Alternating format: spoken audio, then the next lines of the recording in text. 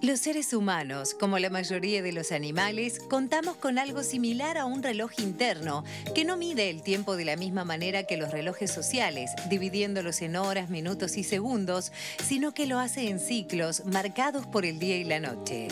Durante milenios, la humanidad se acostaba cuando el sol se ponía y se levantaba al amanecer, respetando la rotación de la Tierra, de tal modo que nuestros tiempos estaban regidos por los de la luz solar. Pero la vida moderna alteró estos procesos naturales. La invención de la electricidad permitió que las noches no fueran tan oscuras y la vida en edificios con poca exposición al exterior hizo que los días ya no resultaran tan claros. Todo esto aplanó el contraste lumínico que preponderó durante millones de años, generando ambientes de claridad homogénea que confunde a nuestro mecanismo biológico, quien no puede explicarle al cerebro cabalmente cuándo es de día y cuándo de noche, y por tanto cuándo es la hora de dormir. Este desajuste se agrava con las pantallas, que generan luz blanca y del espectro del azul, que al ser utilizadas durante la noche causan en el organismo una reacción similar a la del consumo de cafeína. Por eso la sociedad moderna duerme menos. Se calcula que semanalmente dormimos tres horas menos que antes y lo que es más alarmante es que en los últimos 10 años probablemente estemos durmiendo una hora y media menos por día. Como si esto fuera poco, la mayoría de las personas no suelen respetar su reloj biológico, organizando su vida en base a compromisos sociales y laborales, lo que también altera el ciclo sueño-vigilia, afectando la salud física y mental y disminuyendo el desempeño en diversas áreas, incluida la intelectual. Ana Silva, profesora del Laboratorio de Neurociencias de la Facultad de Ciencias, y Bettina Tassino, profesora de la sección Etología de la misma institución, forman parte del grupo de investigación de cronobiología que investiga cómo se comporta nuestro organismo y cómo podemos hacer para volver a saber cuándo es de día y cuándo las noches son.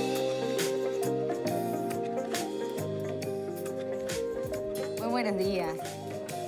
¿Cómo les va? Hola, ¿qué tal? Gracias por estar esta mañana con nosotros y, hablar un poco sobre esta investigación. Primero, comencemos por el principio. ¿Cómo surge? ¿Qué interés despierta en ustedes? ¿Y qué es la cronobiología? Si bien un poco lo veíamos ahí, también ponerlo en sus palabras y que ustedes nos cuenten eh, por qué también, eh, además, deciden comenzar por adolescentes y niños, que también lo vamos a hablar esta mañana. Buenísimo, bueno, este, mucho gusto estar acá. Muy linda la presentación, muy ajustada a lo que nosotros hemos venido trabajando. Y somos biólogas, hemos trabajado en distintos aspectos de, en mi caso, del comportamiento social y las bases neuroendocrinas del comportamiento, como el cerebro y las hormonas controlan el comportamiento. Y llegamos desde ahí a interesarnos en ese reloj muy conservado que tenemos todos los seres vivos. Y como no sin sorpresa, después de trabajar más de 30 años en modelos animales y en este tipo de aproximación, llegamos a eh, poder aplicar algo de ese conocimiento a estudiar comportamientos tan complejos y en modelos para nosotros tan este, eh, como como distintos como somos nosotros mismos. Así que es bastante reciente, no más de cinco años, eh, seis años que estamos este, utilizando este abordaje para entender comportamientos humanos este, alrededor del funcionamiento de ese reloj biológico. ¿Por qué eh, niños y adolescentes particularmente en estos estudios que vamos a, hablar eh, en esta mañana? Bueno, los adolescentes tienen una característica que es propia del desarrollo puberal, que es que ese reloj que comentaba Ana recién y que escuchábamos en la presentación, se atrasa de alguna manera. ¿sí? Eso eh, no le pasa solamente a los adolescentes en Uruguay, es un, fenómeno universal, ¿sí? que eso genera, que ese atraso del reloj de alguna manera genera también un atraso en la ubicación del sueño. ¿sí? Y eh, una investigadora que, nosotros admiramos mucho, Mari Karscadon, define esa situación del sueño en los adolescentes como la tormenta perfecta, en el sentido de que biológicamente los adolescentes ven atrasado su reloj y por lo tanto atrasan la ubicación de su sueño, pero por otro lado, en general, tienen una restricción en la duración del sueño que está dada por lo temprano que asisten a eh, los centros educativos. Estamos hablando de las 7 y cuarto de la mañana, primer turno, ¿no? Exactamente, 7 y cuarto, en algunos 7 y media, pero es muy temprano cuando el sueño, cuando empiezan su sueño muy tarde en la noche. Y eso genera un déficit de sueño, una restricción del sueño que es muy generalizada. De hecho, nosotros en nuestras investigaciones eh, con adolescentes en Uruguay detectamos que de los estudiantes que asisten al turno matutino, el 80% de esos estudiantes no alcanzan a completar 8 horas de sueño en promedio semanal, o sea, si contamos también lo que duermen los fines de semana. Y bueno, eso nos muestra que esos adolescentes están deprivados de sueño eh, en forma crónica. ¿Se puede recuperar esas horas de sueño que faltan? Bueno, de alguna manera eh, el, sueño extra del fin de semana muestra que hay una compensación de ese déficit de sueño. Aún contando esas horas de sueño, no alcanzan en promedio las ocho horas diarias el 80% de los, de los liceales que van al turno en la mañana. Tú marcabas eh, eh, específicamente los estudiantes de Uruguay porque también hubo una investigación en Antártida. Eh, ¿cómo, sí, bueno, eso igual fue con, con uruguayos, ¿verdad? Los participantes Pero digo, también fue como en, otro lugar, en, otro, contexto. Ahí va. Lo de Antártida tiene que ver con que ese reloj, como decían ustedes en la presentación, se pone en hora por la exposición a la luz. Por eso muchas veces nosotros decimos como el tiempo para el cerebro entra por los ojos, porque es dependiente de la luz que recibimos y no de la luz solo, sino del momento en que se recibe la luz. Entonces nos pareció una oportunidad de estudiar algo interesante de eso, es ir al verano antártico, en donde la luz es de 20 horas durante el día y entonces es como un experimento ¿verdad? cronobiológico porque es ver qué pasa con una alta exposición a la luz en ese reloj y cómo se distorsionan los patrones de sueño, por ejemplo, y incluso la preferencia circadiana, ese cronotipo que llamamos, este, donde preferimos ubicar eh, las actividades del día y el sueño. Eh, a mí me parece interesante lo que, lo que comentó Betina recién de los adolescentes para ponernos también en una... Eh, en el mundo cronobiológico, el modelo Uruguay, los adolescentes uruguayos tienen un sitial especial porque esa tendencia a la nocturnidad universal está exagerada, muy exagerada, por lo que el conflicto, que no lo inventamos nosotros, está en la bibliografía y está muy reconocido, también se hace exagerado. Y termina en esa conclusión no muy buena que, a la que llegamos de que el 80% de los estudiantes que, que van al turno matutino tienen un déficit de sueño. Los que van al intermedio y al vespertino, no. No hay, no hay, no hay ningún no, tipo. ¿Y, no tanto. no tanto. ¿Qué pasa, no?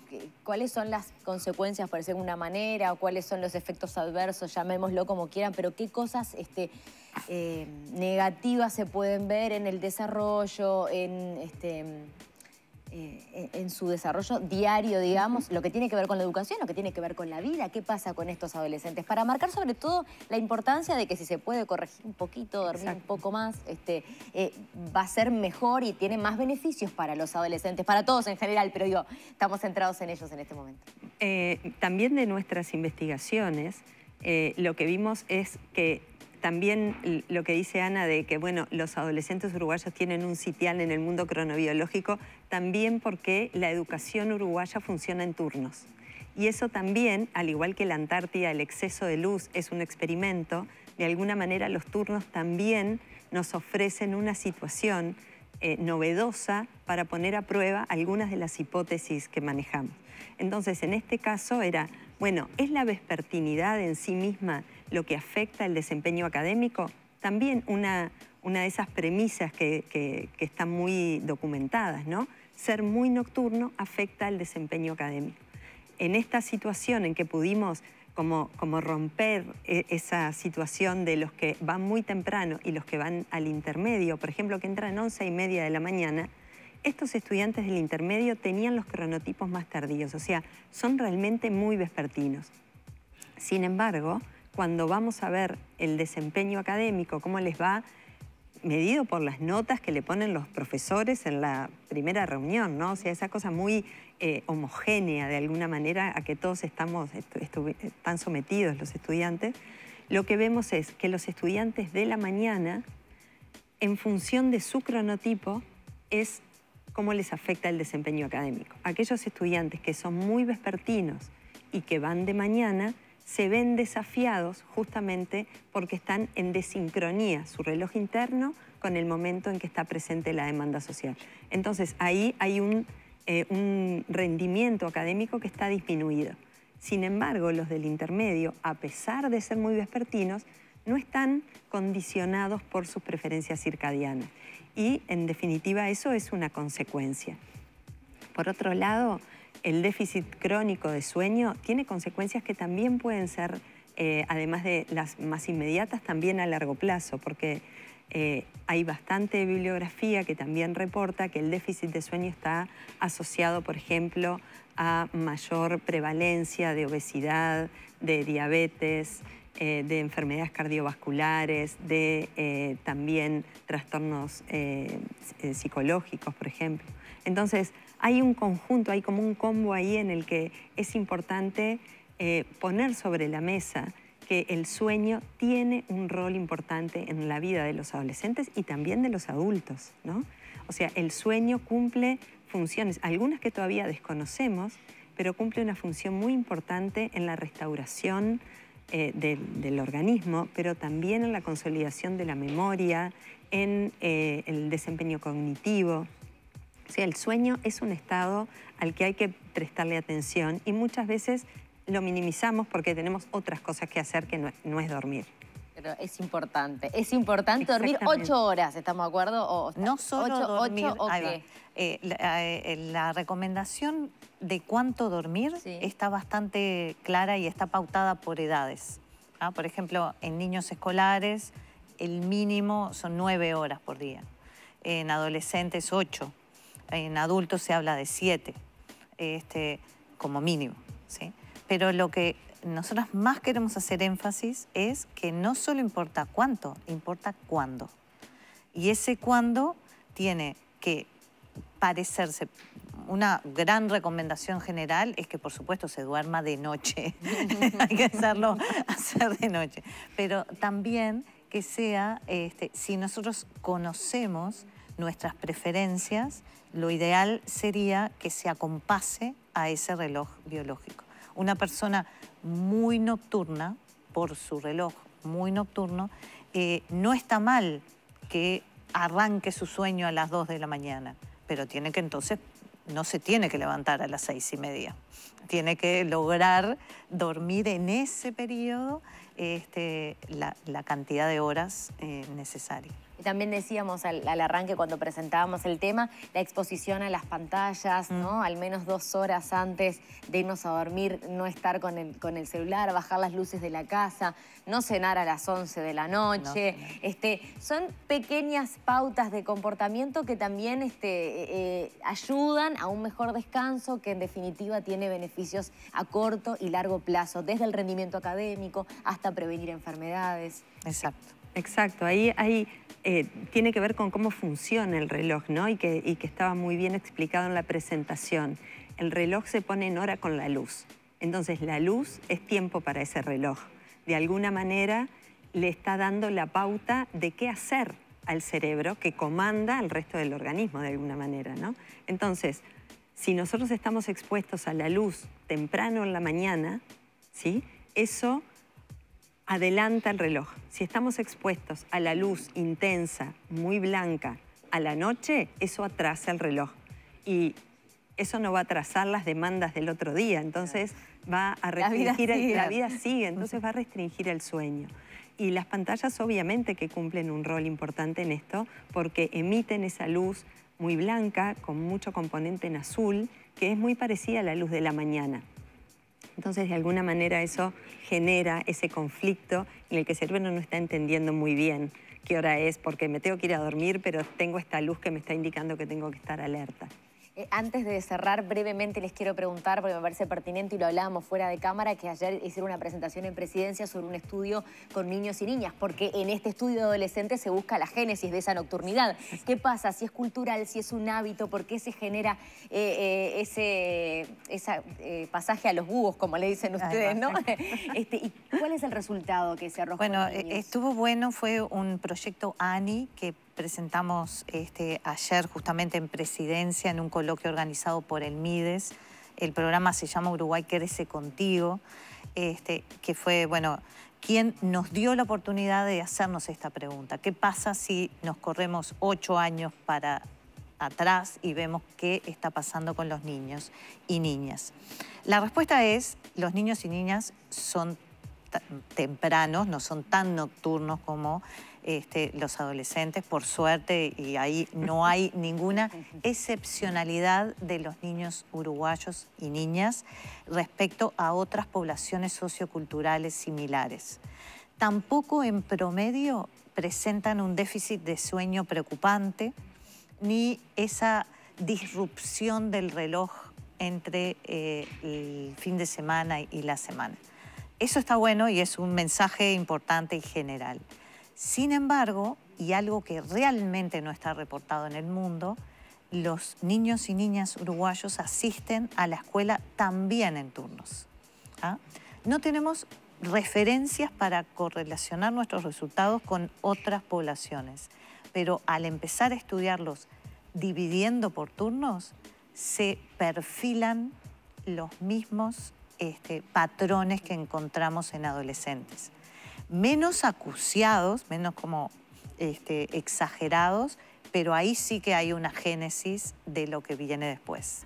Muchísimas gracias por esta charla a las dos, por este trabajo que, que continúan realizando. Gracias por estar esta mañana con nosotros y por la información, porque como decíamos en definitiva, este, que tú me lo decías fuera de cámara, no queremos eh, decir que están en un problema quienes duerman menos horas y demás, pero la información es relevante, es importante y nos ayuda a, repensar. Creo que hoy cuando nos vayamos todos a dormir, algún ejercicio distinto al que hacemos todos los días vamos a hacer este, y también la información para los padres es poder para para trabajar con ellos y que puedan descansar mejor, que en definitiva nos hace bien a todos. Muchas gracias. Muchísimas gracias, gracias a ustedes. Cerramos por acá y ahora es momento de irnos a la cocina con Leti.